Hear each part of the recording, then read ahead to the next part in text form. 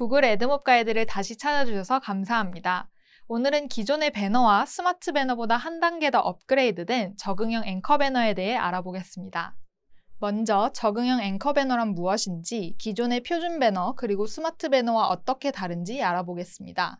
그 다음에는 여러분의 앱에서 기존 배너보다 적응형 앵커 배너를 사용하는 것이 왜 더 나은지에 대해서 알아보고 적응형 앵커 배너를 구현할 때 필요한 가이드라인을 훑어보도록 하겠습니다. 마지막으로 적응형 앵커 배너에 관해 자주 묻는 질문들에 답변 드리면서 마무리하도록 하겠습니다. 적응형 앵커 배너와 다른 배너의 차이점을 알아보겠습니다. 적응형 앵커 배너를 소개하기에 앞서 현재 이용 가능한 표준 띠 배너와 스마트 배너를 짚고 넘어가도록 하겠습니다. 먼저 표준 띠 배너는 맞춤 설정이 불가능하고 fix된 320에 50 크기로만 사용할 수 있습니다. 스마트 배너의 경우에 모든 기기에서 화면 너비에 맞춰 동적으로 광고 크기를 조정하는 것이 목적이지만 높이가 fix되어 있는데요. 그렇기 때문에 높이가 충분하지 않은 광고가 게재되는 일이 많을 수 있습니다. 적응형 앵커 배너는 스마트 배너와 비슷한 목적을 가지고 있는데요. 기기별 맞춤 코딩 없이 더 크고 효과적인 배너를 게재하는 것입니다. 다만 적응형 앵커 배너는 이 과정이 더 효과적으로 이루어집니다. 높이를 변경하지 않고 너비만 채우는 스마트 배너와 달리 적응형 앵커 배너는 개발자가 어느 정도의 너비가 적당한지 지정하면 각각의 device의 너비와 높이를 토대로 가장 적절한 배너 크기를 자동으로 선택합니다. 지금 화면에서 세 가지 유형의 배너 광고가 같은 기기에서 어떻게 다르게 보여질 수 있는지 예시를 볼 수 있는데요. 보시다시피 적응형 앵커 배너가 다른 두 배너에 비해 화면을 더 효율적으로 채우게 됩니다. 그렇다면 왜 표준 배너와 스마트 배너보다 적응형 앵커 배너를 앱에 구현하는 것이 더 나은지에 대해 알아보겠습니다. 적응형 앵커 배너는 모든 기기 또는 화면에서 자동으로 최적의 배너 크기를 게재하도록 설계되었기 때문에 여러 장점을 가지고 있습니다. 첫째, 코딩에 많은 공수를 들이지 않고 다양한 기기 화면에 광고를 게재할 수 있습니다. 적응형 앵커 배너의 API가 자동으로 적합한 크기의 광고를 불러오기 때문에 광고를 게재할 기기나 화면의 크기별로 별도의 코드를 작성하지 않아도 됩니다. 둘째, 적응형 앵커 배너는 화면 공간을 더 효과적으로 채우기 때문에 광고가 더 크고 선명하게 게재됩니다. 차세대 배너 광고로 설계된 적응형 앵커 배너는 수익을 극대화하는 동시에 광고 관리의 복잡성을 줄이고 효율성을 높이려는 목적이 있습니다. 적응형 앵커 배너를 잘 구현하기 위해 필요한 네 가지 주요 가이드라인을 살펴보겠습니다. 첫째, 구현 시 광고가 게재될 영역의 너비를 최대한 넓게 지정하고 배너가 화면 전체 너비에 맞춰 게재되도록 기기 너비를 동적으로 설정하는 것이 좋습니다.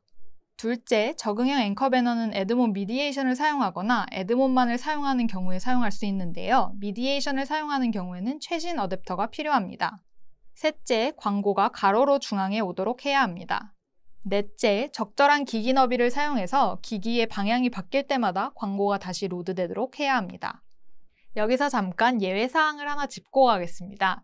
기기에 따라 크기가 작은 광고가 실적이 더 좋을 수도 있는데요. 이런 경우에는 적응형 앵커 배너가 지정된 공간의 중앙에 더 작은 크기의 광고를 게재할 수도 있습니다. 이런 예외 상황에서도 배너 겹침 문제를 방지하고 광고가 제대로 게재될 수 있도록 배너 주변의 공백은 투명하지 않게 만드는 것이 좋습니다. 다음으로는 적응형 앵커 배너를 구현할 때 필요한 가이드라인을 살펴보겠습니다. 적응형 앵커 배너를 사용할 때는 광고가 게재될 화면 너비를 알고 있어야 하고 여기에는 기기 너비와 사용 가능한 안전 영역이 반영되어야 하는데요. 대부분의 경우에는 전체 화면 너비를 사용하면 됩니다. 구글 모바일 광고 SDK는 GADAdSize, Android의 경우에는 AdSize에서 주어진 너비에 최적화된 광고 높이를 반환합니다. 지정된 너비에 대해 반환되는 광고 크기는 항상 동일하기 때문에 특정 기기에서 레이아웃을 한번 테스트하고 나면 광고 크기가 변경되지 않습니다.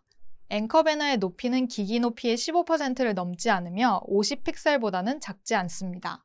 지금까지 적응형 앵커 배너가 무엇인지에 대해서 알아보았는데요. 이제는 자주 묻는 질문들에 대해서 알아보도록 하겠습니다. 첫 번째 질문.